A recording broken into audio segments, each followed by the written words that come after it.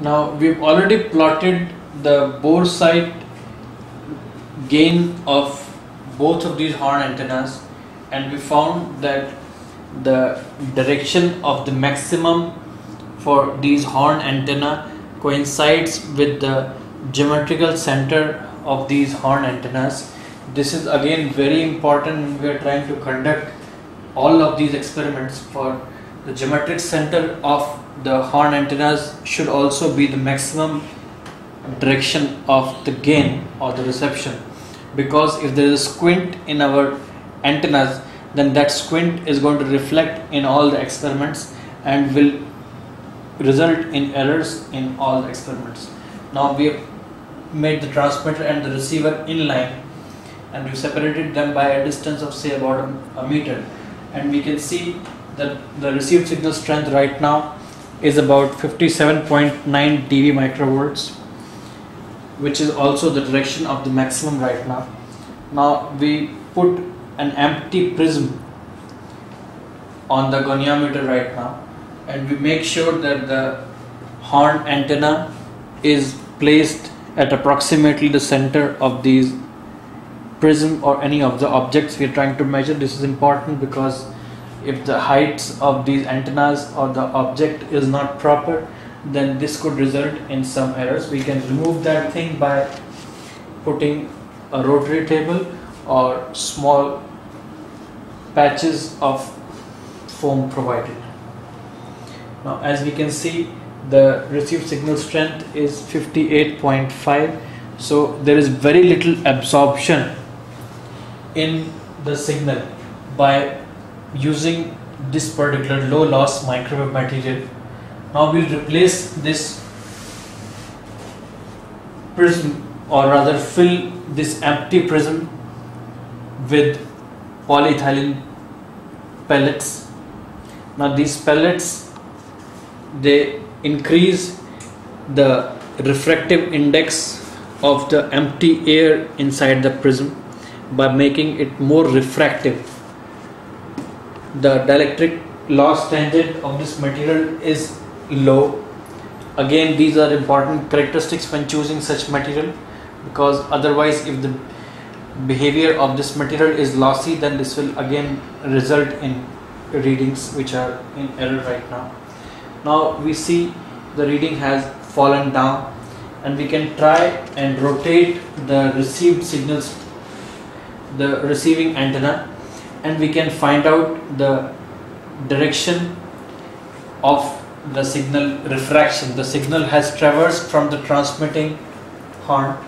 It has passed through the prism antenna and in the most likelihood it has rotated in that direction. So we can find out the direction and we can take a plot of the received signal strength and the angle right now. So for this particular angle the reading is 57 as we rotate it is 57.4 58 58.2 58.4 58.7 58.8 59 9.2 3 4 5 7 59.8 this appears to have maxed out so as you can see this prism has bended this microwave beam towards its larger face.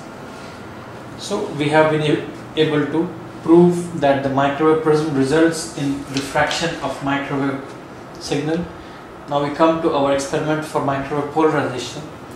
For that we'll use a microwave polarization grill. I will again keep the transmitter and receiver horn in the vertical polarization.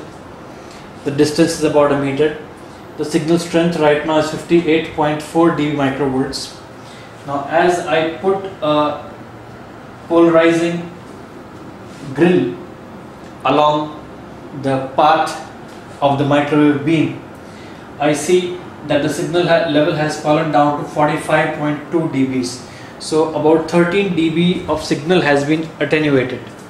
Now what has happened is that because this was a vertically polarized signal the direction of the electrical vector in the EM wave was in the vertical plane and that vertical plane wave when it has met with this polarization grill it has set off current in these wires because of which the vertical component has resulted in absorption of its signal along the length of these wires. Now if I rotate this grill in the opposite plane this will result in